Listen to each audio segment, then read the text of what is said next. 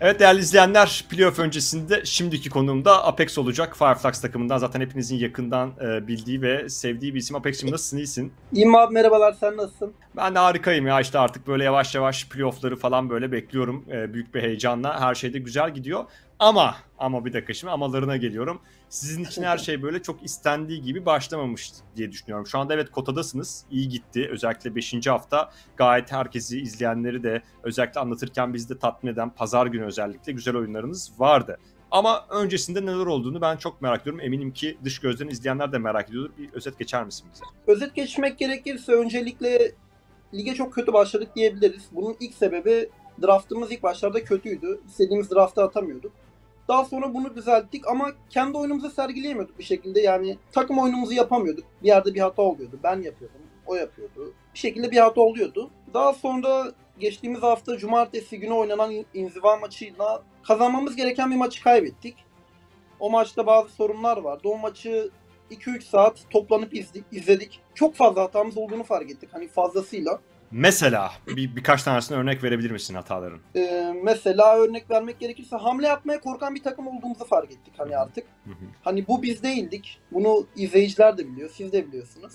Hani toparlanıp kendi aramızda arkadaşlar uyanma vakti. Böyle devam ederse playoff'lara kalamayacağız. Hani biz yani Fireflux playoff'lara kalamazsak yani gelecek yorumları az çok tahmin edebiliyoruz. Konuşmayı yaptıktan sonra, defalarca izledikten sonra pazar günü çıktığımız iki maçı da çok güzel bir şekilde oynadığımızı düşünüyorum.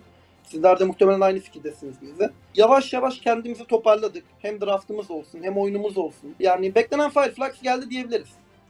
Onu zaten biz de bu arada fark ettik yani o şeyi o mesela seçim yasaklama ekranındaki özgüven bile belli oluyordu bu arada. Çünkü onu gerçekten ilk haftalarda görmedik yani. Hatta böyle biraz daha işte metaya yakın tercihler geliyordu ama aslında baktığında yani sizin TNZ çok üst düzey bir ormancı işte onu biraz daha rahatlatacak. Mesela Amon Pick'i bence Amon Pick'i müthişti mesela hafta sonu yani. Hı-hı. Ben e, çok hoşuma gitti. MSC'de de alıyordunuz zaten ama o zamandan beri evet. alınmamış ki bence mesela daha önce uygun böyle karşılaşmalar da vardı. Biraz böyle sorumluluk almaya başladınız diyebiliriz o zaman değil mi?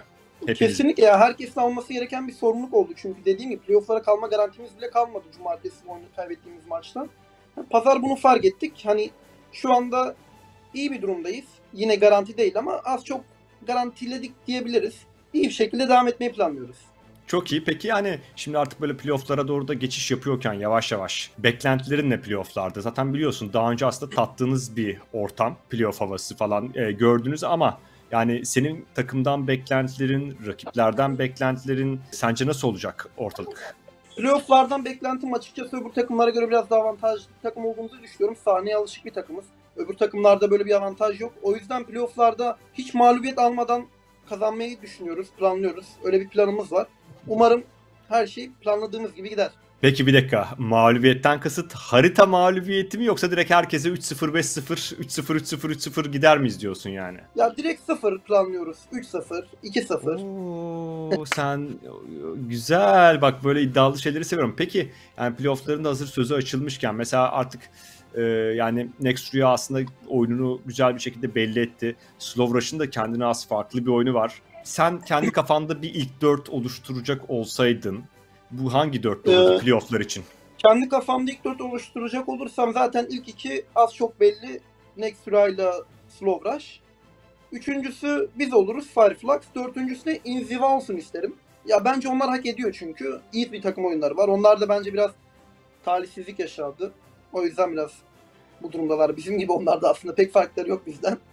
Ya ilk Peki dört zaten... benim için öyle. Peki şeyi merak ediyorum aynı zamanda bir de yani e, diğer takımlar hakkındaki düşüncelerini. Çünkü şeyi gördük mesela evet ilk e, aslında açıldığında turnuva başladığında e, alt sıralarda kalmış takımlar vardı. Ya da yükselip düşen e, bir türlü dikişi tutturamayan takımlar ama sonralara doğru aslında bu takımların yavaş yavaş olaya ısındığını ve e, büyük takımları bile yani işte sizi olsun, Next Rüya'yı olsun, Slow Rush'ı bile zorlayıp hatta devirebildiklerini gördük. Seneye MLBB sezonları da Türkiye'deki sezonlarda o takımları daha yukarılarda, daha iyi yerlerde görme ihtimalimiz nedir? E, kesinlikle daha yukarıda görebiliriz. En basit örneği şu anki yani biz mesela örnek veriyorum. Geçen sene Kaos vardı. Şu an Next Rüyalar. Geçen sene ikinciydi. Şu an birinciler. Ya takımlar oynadıkça bence üst seviyelere çıkabiliyor. Her gün metası değişen bir oyun bu. Meta en kolay kime ayak uydurursa onlar iyi performans gösterebiliyor. Yani seneye daha iyi takımlar olacağını düşünüyorum. Bir de bir şey daha Murano senin için tankları daha iyi oynuyor diyor. A, ve dolaşımda böyle nasıl diyeyim iyileştiren Angela'dır, Estes'tir. Onlarla çok iyi diye bir atıfta bulunuyor. Evet tankları bir tık daha iyi oynuyor olabilirsin ama bence diğerlerinde daha iyi oynuyorsun. Ee, diğerlerini de çok iyi oynuyorsun işte. Estes olsun. Estes'ini ben çok beğendim oynarken. Buradan Murano'ya bir şey söylemek ister misin diye de soruyorum sana. Bak bu hakkı veriyorum sana. Çok atıp tuttu çünkü. Çok atıp tuttu. Buradan sana bunun ya, hakkını veriyorum. Ya zaten genel olarak takımım da benim supportları daha oynadığımı düşünüyor tanklardan ziyade. Hani support Digi'dir, Estes'tir, Matilda'dır. O tarz supportları daha oynadığımı düşünüyor. Bunun sebebi aslında takım oyunumuza daha çok uyuyor bunlar. Ya yani makro oyunumuza daha kolay ayak, e, ayak uydurabiliyor.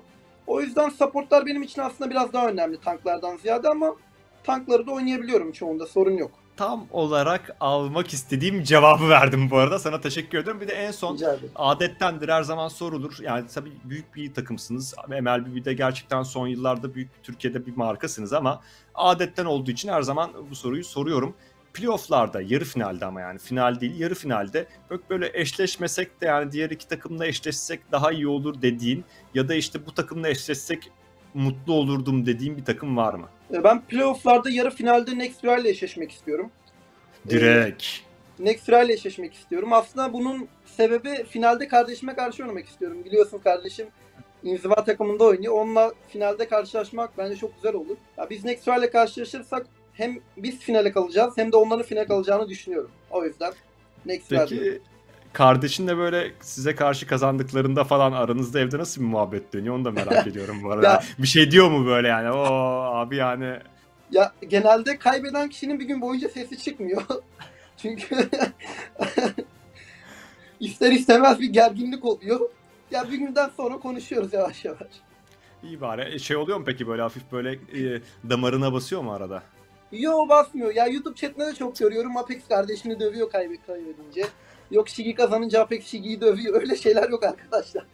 Ah ya ben var ya küçük kardeş olsaydım abime karşı turnuvada kazansaydım üf neler yapardım evde herhalde. Yani küçük kardeş avantajıyla bir de anladım böyle bir şey de yapamaz abisin yani güzel ama beğendim aranızdaki ilişkiyi. Yani Apex'im çok teşekkür ediyorum sorulara cevap verdiğin için. Ümit ben ediyorum teşekkür ederim abi. dönemde önümüzdeki dönemde de ümit ediyorum. Her şey istediğin, senin istediğin gibi, takımın istediği gibi, taraftarların istediği gibi olur. Yani offline'da görüşmek dileğiyle kendine. Çok Görüşürüz. dikkat et. Çok teşekkür ediyorum. Hoşçakalın. Bye bye.